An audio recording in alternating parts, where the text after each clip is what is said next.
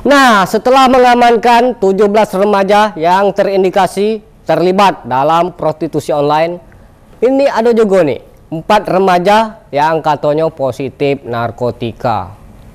Semakin kacau kamu-kamu nih. Kita pantau di pantauan Bang Jack. Tim Operasi Pekat Polda Jambi kembali menyisir kos dan hotel yang diduga menjadi tempat praktek prostitusi online di kota Jambi. Pada selasa siang 29 November, petugas menyisir Tugu Kos di kawasan Tugu Juang, Simpang 3 Sipin, Kecamatan Telanai Petugas memeriksa satu persatu kamar kos tersebut. Di dalam kamar kos, petugas menemukan beberapa pasangan bukan suami istri.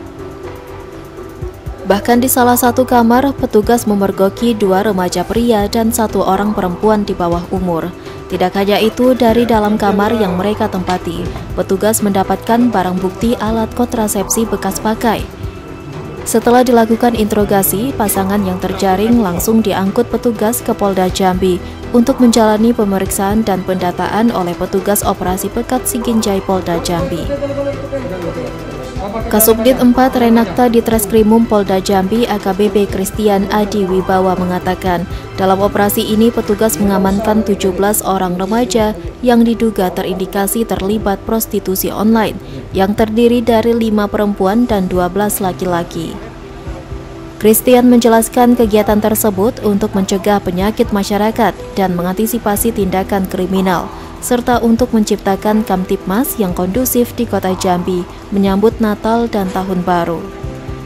Nah, kegiatan-kegiatan ini yang jelas untuk mengantisipasi adanya kegiatan penyakit masyarakat, baik itu prostitusi, pencurian kendaraan, kemudian begal, dan lain sebagainya, dan lain sebagainya. Dan kegiatan ini rutin kita laksanakan setiap tahun ini kegiatan baik pada saat mendekati Natal dan Tahun Baru, kemudian juga mendekati uh, kegiatan Hari Raya Idul Fitri. Nah, hari ini kita melaksanakan kegiatan uh, razia TKP-nya di Kosan Tugu di daerah Simpang Sipin ya, Simpang Sipin. Operasi pekat ini akan rutin dilaksanakan selama beberapa hari ke depan. Dimas Sanjaya, Cik TV, melaporkan.